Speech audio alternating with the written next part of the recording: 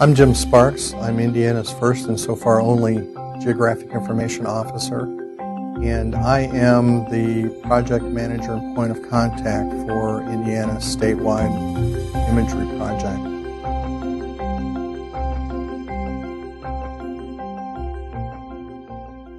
The Indiana statewide ortho imagery project will be delivering two basic products. One of those is 12 inch resolution orthophotography, and the other one is 1.5 meter post spacing LIDAR.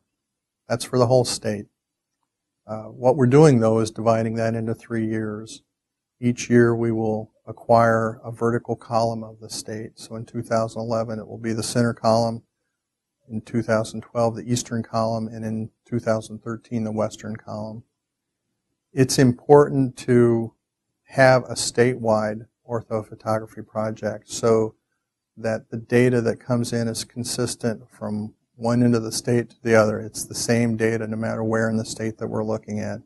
Same level of, of accuracy, same level of quality, and everyone can be literally on the same page when we're looking at this data.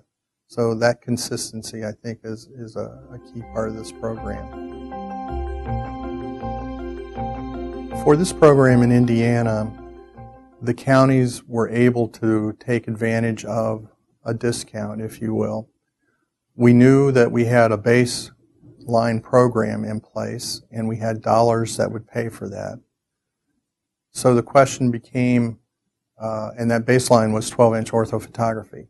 A county could take that at no additional cost to the county or they could use the money that we would have spent on the 12 inch orthophotography and put that towards a higher resolution product. So uh, this year, 2011, we had six counties buy up to 6 inch orthophotography.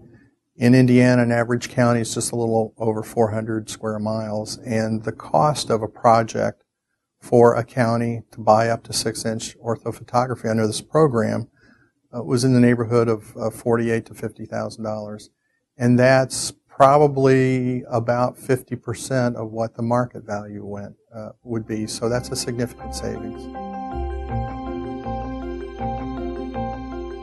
A lot of people ask about the return on investment for this kind of, of project. We did a, a return on investment analysis about three years ago that looked very much at the 2005 orthophotography project. And what we found, I don't think is surprising to anyone who works with GIS, but maybe a little surprising to others. It was calculated that the return on investment for that particular data set was about 35 to 1. Another way of looking at that benefit uh, is that that data supported about $1.7 billion worth of projects across the state. And somewhere in the neighborhood of 80% of the people who responded said their project just couldn't happen without the orthophotography. So $1.7 billion is a big number. 80% of that saying that that orthophotography was critical to the success of that project, I think is a very telling statistic. For this kind of a project to make sense, it really needs to benefit a lot of different people. Uh, for example, we, we've talked some about how it benefits different levels of government. And we understand that one of the things that government is interested in is economic development. And that's an item that I think is also clearly a benefit to everyone who lives in this state. But there are also other specific benefits to businesses that we could talk about too. For example, surveying and engineering firms in particular really, really need good orthophotography, and they will also be able to take huge advantage of the, the LIDAR product that we're developing from, the, from this program as well. So that preliminary surveys can be done at the desktop instead of out in the field, for example. But we also know that other companies, like lawn care companies, are able to measure a piece of property and therefore provide an estimate back to a potential customer very quickly and very accurately without leaving the office. That's a great benefit. Same thing for roofing companies.